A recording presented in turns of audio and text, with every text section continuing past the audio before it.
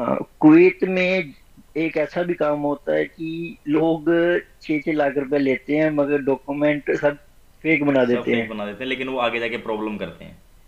बहुत भैया बहुत मैंने सोचा था जाना है तो सही तरीके से जाना नहीं तो जाना ही नहीं है। नहीं तो जाना ये इमिग्रेशन का प्रोसेस कैसा था? कुछ भी नहीं। बिल्कुल एकदम स्मूथ सुपर स्मूथ कुछ भी नहीं पूछा भैया उन्होंने टिकट भी नहीं देखी कुछ भी नहीं देखा। मैं बिंदीमान आपका स्वागत करता हूँ। तो भाई इस वीडियो में हम डिस्कस करेंगे लेटेस्ट शैनिकन ट्रैवल और स्पेन ट्रैवल के बारे में कि इंडियंस कैसे ट्रैवल कर सकते हैं क्या अभी के टाइम में इमिग्रेशन पे इमिग्रेशन कैसा है फिर क्या डॉक्यूमेंट्स लगते हैं स्पेन जाने के लिए। तो पूरा प्रोसेस हम डिस्कस करेंगे इस वीडियो में लेटेस्ट एकदम। तो रिजेश जी है मेरे साथ अभी। और रिजेश जी वेलकम कैसे हो? थैंक यू रविंद्र भाई। ठीक ठाक आप सुनाओ कैसे हो? बढ़िया। तो भाई हरजेश जी कुवैत में रहते हैं। ठीक है? और अपने बहुत सारे इंडियन भाई भी रहते होंगे डेफिनेटली और वो भी सोच रहे होंगे कि यार हम वीज़ा लगा के स्पेन ट्रैवल करें। या फिर इंडिया से भी बहुत सारे बंदे सोच रहे हैं कि हम वीज़ा लगा के स्पेन ट्रैवल करना है। क्या अभी डॉक्यूमेंटेशन है और क्या इमिग्रेशन का प्रोसेस है अभी? तो वो सारा हम डिस्कस करेंगे इस वीडियो में। तो हरजेश जी, बताइए अच्छा वीडियोस कितने टाइम से फॉलो कर रहे हो और कितनी हेल्प मिली? आपने पहले भी ट्रैवल किया है वीडियो से। रोहन भाई, मैंने तो पहले आपकी कोई वीडियो देखी नहीं। जब से मैंने ये ट्रैवल शुरू किया ना हम्म, तब से मैंने सोचा सर्च मार रहा था यूट्यूब पे कि कैसे कैसे ट्रैवल करना है कैसे नहीं क्योंकि डॉक्यूमेंट के बारे में कोई नॉलेज नहीं थी कुछ नहीं मालूम था। बिल्कुल बिल्कुल। फिर आपकी वीडियो सामने जैसे यूट्यूब खोला ना तो आपकी वीडियो तो आगे ऊपर। तो आपकी वीडियो ज़्यादा ज़्यादा सर्बिया में थी सर्बिया बारे सर्बिया के बारे में हाँ। कैसे जाना है कैसे नहीं। तो वहाँ से मुझे वैसे ही डर लग रहा था कि सर्बिया में क्यों जाऊँ? अगर रिपोर्ट हो गया तो फ़ायदा क्या है हाँ, हाँ, पता है ना आपको स्टैंप लग जाए तो मुश्किल हो जाती है बिल्कुल बाद में। बिल्कुल बिल्कुल। तो फिर बाद में मैंने क्या किया स्टार्टिंग में फिर मैंने देखा सर्च किया थोड़ा सा भी कुवैत से ना जिसके पास कुवैत का रेजिडेंसी कार्ड है ना अजरबैजान के लिए उनको वीज़ा ऑन अराइवल है। तो हम्म, फिर मैंने वही स्टार्ट किया मैं देखा कैसे कैसे करना है वो करके। फिर मैंने बोला भी जाना तो है तो दो तीन कंट्रियाँ और भी साथ में ट्रैवल कर लूँ। तो उसके हम्म, बाद मैंने सर्च किया कि वहाँ से कहाँ जा सकता हूँ अजरबैजान से? हम्म, जो इजी रहेगा सस्ता रहेगा। हम्म, तो उसके बाद मैंने देखा उज्बेकिस्तान का ऑप्शन आ रहा था। हम्म, उज्बेकिस्तान के लिए उसके लिए वीज़ा चाहिए था वो भी वीज़ा ई वीज़ा था वो भी इजीली मिल जाता था। तो फिर मैंने उसके बाद देखा कि इसके बाद क्या होगा? इसके बाद मैंने देखा उज्बेकिस्तान के साथ ही कजाकिस्तान लगता है बॉर्डर वहाँ तो वैसे वहाँ तो वीज़ा ही फ्री है। वहाँ तो वीज़ा की ज़रूरत नहीं है। बिल्कुल बिल्कुल। अच्छा उज्बेकिस्तान का वीज़ा कितनी देर में मिल गया था आपको? वो वो मुझे दो दिन दो दिन में मिल गया था। तो बहुत सारे बंदे भाई ना एजेंटों के चक्कर में घूमते हैं किसी चक्कर में घूमने की ज़रूरत नहीं है। राजेश जी ने पूरा मतलब मेरे से बात करके भी इन्होंने काफ़ी सारी जो ट्रैवल किया था पूरा इन्होंने पहले भी ऐसे ही ट्रैवल किया था। उस टाइम पे एक्सपीरियंस शेयर नहीं कर पाए। और अभी जो इन्होंने स्पेन का पूरा किया है प्रोसेस वो भी सारा हमने डिस्कस करके किया है। तो ऐसे आप लोग भी कर हम्म। सकते हो खुद से। अच्छा तो फिर ये कंट्री में आप घूमे आपने ट्रैवल किया। अच्छा रहा। पूरा ट्रैवल आपने खुद से प्लान किया था जैसे? कौन सा? अजरबैजान वाला? हाँ जी। हाँ जी भैया वो तो अब मैंने आपको बोला था ना कुवैत से तो फिर मैं अजरबैजान में चला गया था। हम्म, यानी कि कुवैत यहाँ से जाने से ना कुवैत से जाने से पहले ही मैंने उज्बेकिस्तान का वीज़ा अप्लाई कर दिया था ऑनलाइन। हम्म, हम्म, तो वैसे ही जैसे ही मैं अजरबैजान में लैंड हुआ तो उसके नेक्स्ट डे ही मुझे उज्बेकिस्तान का वीज़ा मिल गया था। आ गया था मेरे ईमेल पे। तो फिर मैं थोड़ा एक हफ़्ता अजरबैजान में रहा। अजरबैजान के बाद फिर वहाँ से फ़्लाइट लेके उज्बेकिस्तान चला गया। ओके ओके तो अभी आपने रिसेंटली ट्रैवल किया है कुवैत से स्पेन ठीक है? हम्म। तो स्पेन आपने ट्रैवल किया तो भाई एक बार डॉक्यूमेंट्स बता दीजिए कि क्या क्या लगाए थे आपने स्पेन ट्रैवल हाँ, भैया रोहन भाई और एक बात ये है कि उज्बेकिस्तान से अगर कोई मैं एक वो बोलता जिसको ट्रैवल हिस्ट्री बनानी है ना अगर अजरबैजान का वीज़ा बाई चांस नहीं मिलता है कुछ नहीं है क्योंकि इशू अब ज़्यादा हो रहे हैं ना वो क्योंकि वो ऐसा आपको मालूम है क्या बिल्कुल बिल्कुल। तो उज्बेकी उज्बेकिस्तान का वीज़ा ले लो एक वीज़ा मिल जाएगा तो उसके बाद आप by road by road Kazakhstan में एंटर कर लो दो स्टैंप हो जाएगी आपके पास। बिल्कुल बिल्कुल। वो बेस्ट रहेगा क्योंकि अजरबैजान में अभी बहुत वो बेस्ट भी है और वो सस्ता भी है। सस्ता भी है और बेस्ट भी है। अजरबैजान जाओगे तो आपको बहुत मुश्किल पड़ेगी अभी वैसे भी बहुत वो आपको मालूम है क्या कर रहे हैं वहाँ पे इंडियंस को प्रॉब्लम करते हैं हाँ। भाई अभी। ये सारा इलीगल माइग्रेशन के हम्म। चक्कर में। तो अभी आपने रिसेंटली ट्रैवल किया है स्पेन स्पेन का बताइए कि स्पेन आपने किस डॉक्यूमेंट क्या क्या डॉक्यूमेंट्स रेडी किए स्पेन जाने से पहले भैया मैंने एक तो ग्रीस का रिफ्यूजल था।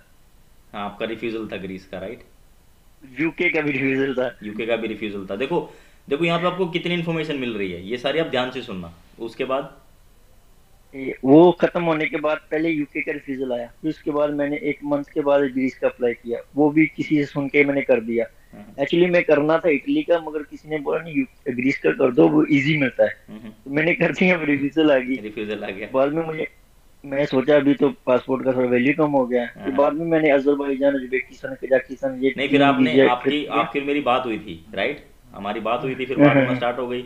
फिर आपने ट्रैवल भी किया हाँ। और फिर आपने स्पेन का वीज़ा हाँ अप्लाई किया और आपका वीज़ा भी आ गया राइट हाँ जी हाँ जी। और आप वो इंसिडेंट याद है कि आप बोले थे कि नहीं यार रिजेक्ट हो गया होगा? मैंने बोला था कि नहीं आपका वीज़ा लग गया होगा। आप बोले थे कि नहीं इतनी जल्दी कैसे लग सकता है राइट वो याद है ना आपको? भैया वो आठ नौ घंटे में वीज़ा लग के आ गया था स्पेन का। चलो। घंटे में। हाँ। तो वीज़ा की बात हम दूसरी वीडियो में करेंगे। पहले हम मुझे ये बताइए कि अपना आपने ट्रैवल करते टाइम कौन से डॉक्यूमेंट लगाए? ट्रैवल करते समय सबसे पहले तो भैया वही जो नॉर्मल डॉक्यूमेंट होते हैं फॉर्म होता है पासपोर्ट कॉपी होती है वो फ़ोटो कॉपी होती है हम्म, पासपोर्ट की कॉपी होती है और मेरी कुवैत की सिविल आईडी थी ठीक है। रेजिडेंस कार्ड था। ठीक है। वो सिक्स मंथ पुराना होना चाहिए हम्म, तो वो वाला तो उसके बाद पासपोर्ट भी वो सिक्स मंथ वाला जो पीरियड है वो होना चाहिए। हम्म, तो बाद में मेरे पास इधर का वर्क परमिट था। हम्म, वो मैंने शो किया उसमें सैलरी जितनी कम से कम सत्तर अस्सी हज़ार सैलरी वो शो करनी पड़ती है। तो सारे डॉक्यूमेंट तो थे आपके पास लगभग जो भी आप वहाँ पे काम करते थे। और जो ट्रैवल हाँ। जैसे hotel booking travel insurance return ticket वगैरह। हाँ। भैया वो तो है मगर एनओसी भी बहुत इम्पोर्टेंट है। एनओसी और सैलरी स्लिप एनओसी कंपनी से लेनी बहुत ज़रूरी है। वो ज़रूरी है।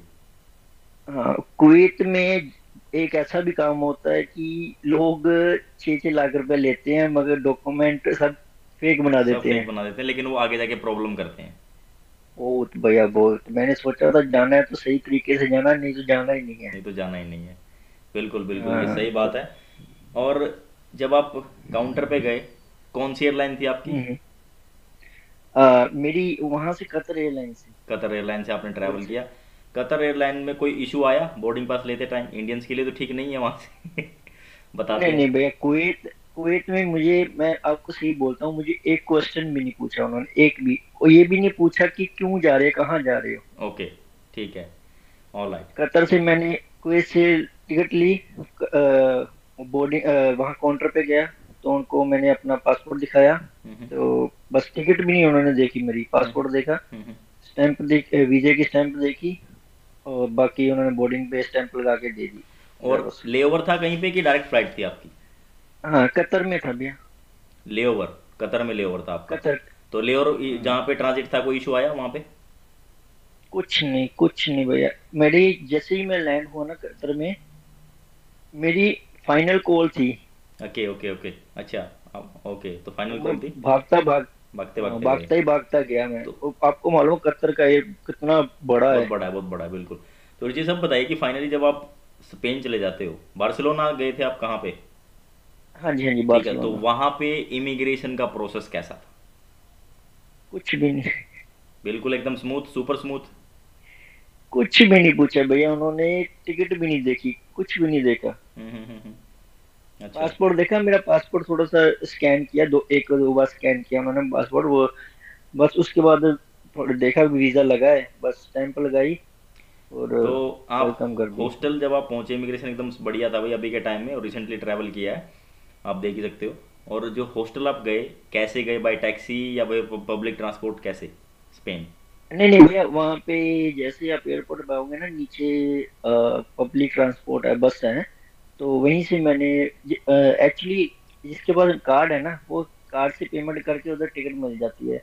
मेरे ख्याल फाइव यूरो की मिलती है टिकट वो सिटी सेंटर तक जाने के लिए। कार्ड कौन से कार्ड बस में ही गया। अ, मैंने कुवैत से इंटरनेशनल करवा लिया था ना। अच्छा इंटरनेट मतलब अपने डेबिट कार्ड से आप कर सकते हो इंटरनेशनल डेबिट कार्ड से? हाँ हाँ हाँ हाँ इंटरनेशनल करवा लिया था मैंने उधर ओके से ओके ओके ओके तो वहीं से फिर मैंने पेमेंट करके उधर से चला गया। तो चलिए आपने अभी बेनिफिट उठा रहे हो आप। आपने स्पेन का वीज़ा मिला आपको। अभी आप पेरिस में बैठे हो। राइट हाँ, हाँ, स्पेन में पेरिस कितने में। दिन रुके आप? स्पेन में भैया तीन चार दिन रुका। और उसके बाद कैसे आए इधर? By air by train by train by train आए हो। और अभी फिर आगे आपका आगे, आगे का कहाँ प्लान है? अभी इसके बाद स्विट्जरलैंड। ओके देखो तो कई बंदे यहाँ पे कंफ्यूज रहते हैं कि भाई हमें स्पेन का वीज़ा मिला तो हम क्या दूसरे जो कंट्रीज़ हैं वहाँ पे ट्रैवल कर सकते हैं? तो आपके सामने में ये ट्रैवल कर रहे हैं अभी स्विट्जरलैंड भी जाएँगे उसके बाद फिर ये वापस जाएँगे। तो ऐसे आप लोग भी कर सकते हो मतलब वीज़ा लेके। पहले आप एंटर उस कंट्री में करो बाद में फिर आप जहाँ पे स्विट्जरलैंड होगी तो डोमेस्टिक ट्रैवल करते हो ना कि मतलब इंटरनेशनल ट्रैवल करते हो राइट नहीं नहीं डोमेस्टिक होता है भैया डोमेस्टिक हाँ कोई इमिग्रेशन नहीं होता कोई कुछ नहीं होता एकदम सुपर स्मूथ पूरा ट्रैवल होता आपका। नहीं होता।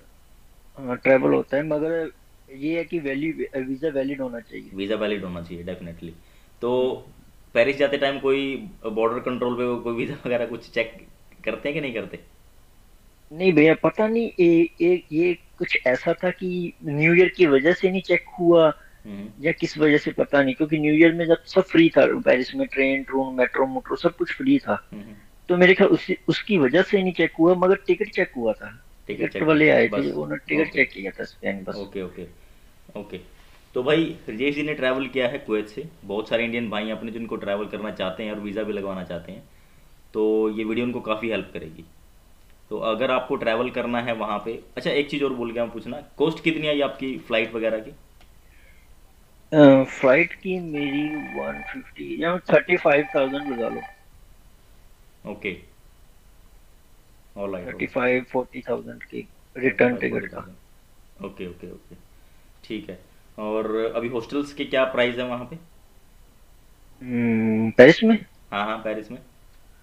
पेरिस में मुझे पड़ा कितना? फोर्टी फिफ्टी यूरो में पड़ा हॉस्टल टू टू नाइट्स का टू नाइट्स का fifty euro twenty five per night हो गया। और और स्पेन में? स्पेन में थोड़ा चीप था। उसमें मुझे फोर्टी या लाइक एट्टी यूरो में पड़ा। फोर डे फाइव डे कुछ। एटी यूरो में फोर डे फाइव डे चलिए तो भाई मेरे हिसाब से आपके सारे डाउट क्लियर हो गए होंगे कि कैसे ट्रैवल करना है क्या डॉक्यूमेंट्स लगते हैं और अभी के टाइम में क्या सिचुएशन है इमिग्रेशन की। तो इस वीडियो को आप शेयर करना ताकि और भी ट्रैवलर्स की हेल्प हो फ्री ऑफ़ कॉस्ट ट्रैवल कर सकें और काफ़ी लोगों की हेल्प हो। जैसे इन्होंने वीडियोस देख के भी इन्होंने पूरा वीज़ा भी लगाया और ट्रैवल भी किया। ऐसा आप लोग भी कर सकते हो बिना किसी जन के चक्कर में पड़ के। तो फिर मिलेंगे आपसे नेक्स्ट वीडियो में। Thank you so much Riji साहब आपने टाइम निकाला और इस वीडियो को शेयर करना।